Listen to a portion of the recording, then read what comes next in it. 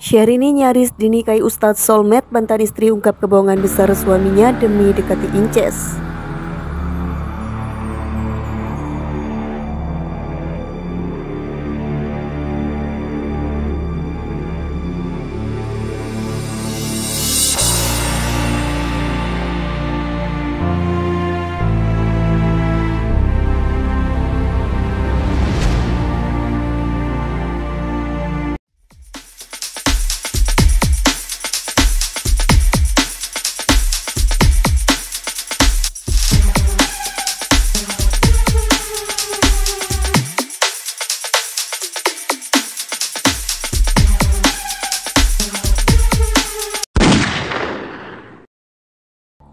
Ustadz Solmed disebut pernah memiliki kedekatan dengan penyanyi cantik Syahrini. Hal itu pun disinggung oleh mantan istri Ustadz Solmed Dewi Yuliawati yang menduga adanya kebohongan yang dilakukan Dai Kondang tersebut saat diisukan dengan Syahrini. Dewi Yuliawati bahkan memberikan sindiran pedas pada sikap Ustadz Solmed yang dianggap telah berbohong saat memberikan kesaksian terkait hubungannya dengan Syahrini. Hal ini berawal dari pengakuan Dewi terkait kelakuan mantan suaminya tersebut yang diungkap ke hadapan media. Pada saat itu ia menjelaskan jika dirinya sama sekali tidak mencari popularitas dari kemunculannya kala itu. Diketahui jika Dewi dinikahi Ustaz Solmed pada tahun 2006 dan bercerai pada tahun 2010. Namun menurut Dewi, mantan suaminya itu masih sering mengajak bahkan memaksanya untuk melakukan hubungan suami istri hingga awal tahun 2011. Ia menegaskan sama sekali tidak ada niatan untuk mencari popularitas. Meski banyak celah yang terlihat pasca mereka masih bersama, kalau saya bilang mau cari popularitas pada saat dia digosipkan waktu dia bilang single, saat digosipkan dengan Syahrini kan heboh ya, ujar Dewi Yuliawati. Lebih lanjut, secara mengejutkan wanita cantik berhijab itu mengaku adanya kebohongan yang dilakukan mantan suaminya, yaitu terkait ucapan Ustadz yang mengaku single telah digosipkan dekat dengan Syahrini.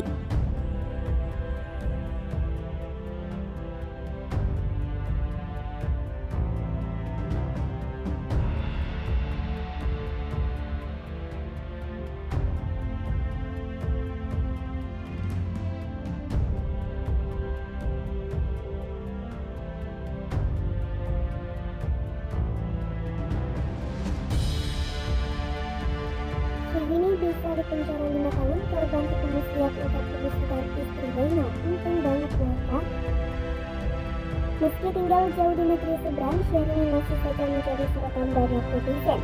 Bukan kehidupannya yang hedon lagi, kini jalan Syahrini bisa membuat istri negara ini terperangkap di dunia penjara. Hal ini terungkap dari pengakuan banyak orang yang mengaku menjadi korban dari dagangan Syahrini. Setelah transaksi dilaksanakan, ternyata pihak Syahrini tidak langsung mengirim barang tersebut hingga menunda beberapa bulan kemudian.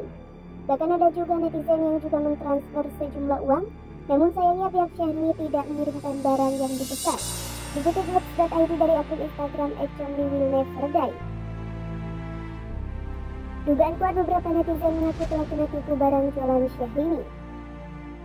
Saya orderan plus pelunasan mulai tanggal 28 Mei, tapi barangnya kok belum dikirim-kirim tuh gimana ya kak? Ujar meter. Sudah saya WA tapi tidak dibalas dari tiga bulan, par meter lain.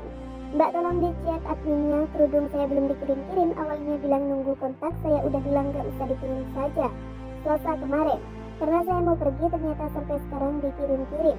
Terima kasih mbak, ungkapnya. Ada pula yang saling bertukar komentar melalui DM di Instagram dan mereka mengungkapkan kekecewaan mereka. Aku sampai videoin packingan jilbab itu loh, masa Xiaomi packingannya kayak beli di pasaran. Ujar Meter. Kecewa berat banget sih dari packingan aja, terus gambarnya juga dua pak itu disatuin dalam satu plastik, kapar Meter.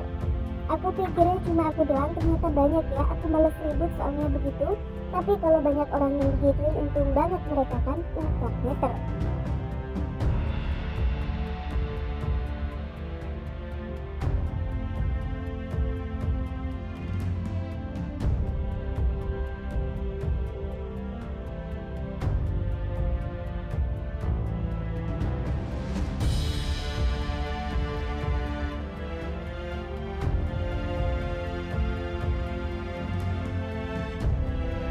Syahrini lepas hijab seiring dengan layar yang ibarat tampar ibu mertua.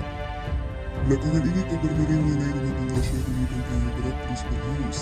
Bahkan terdapat sebuah video yang menyebut bila Syahrini lepas hijab untuk menyaingi Luna Maya dan Rino Barat menampar ibu mertuanya. Informasi ini didapat dari salah satu unggahan kanal YouTube familiar. Tak punya malu, Syahrini lepas hijab saingi Luna Maya, Rino tanpa pikir tampar ibu Ida Syahrini. Begitu judul pada video ini. Foto Rino Barat Luna Maya Syahrini saat belum berhijab Ibunda Syahrini serta akte cerai terlihat menghiasi thumbnail video. Pada video ini dinarasikan bila Syahrini mulai berada isu miring perceraian yang menyeret rumah tangganya. Ia pun disebut angkat bicara dan memberi tindakan tegas terhadap isu miring ini. Lantas benarkah klaim yang menyebut Syahrini lepas hijab yang Rino Barat tampar Ibunda Syahrini? Berdasarkan penelusuran klaim bila hijab dan Reno Barat menampar ibu mertuanya adalah salah. Dalam video berdurasi 4 menit 2 detik ini, narator hanya membahas mengenai isu perceraian yang menimpa rumah tangga Syahrini. Dikatakan Syahrini akhirnya ambil tindakan terhadap isu miring ini dengan cara membagikan penistaan di media sosial. Sementara itu, tidak ada video foto atau narasi yang menyebut bila Syahrini lepas hijab, begitu pula dengan Reno Barat yang menampar ibu mertuanya. Video yang diunggah ini justru berisi gabungan dari beberapa foto dan video berisi penistaan antara dan Rino Barat. Potret Luna Maya pun sempat muncul tanpa konteks. Sementara itu lewat akun Instagramnya, Syahrini memang sering membagikan penistaan dengan Rino Barat, namun hingga kini belum memberikan penjelasan resmi terkait isu miring mengenai perceraiannya. Jadi kesimpulannya berdasarkan penjelasan tersebut klaim yang menyebut Syahrini pas hijab dan Rino Barat menampar ibu mertuanya adalah hoax. Konten ini termasuk dalam koneksi yang salah atau false connection.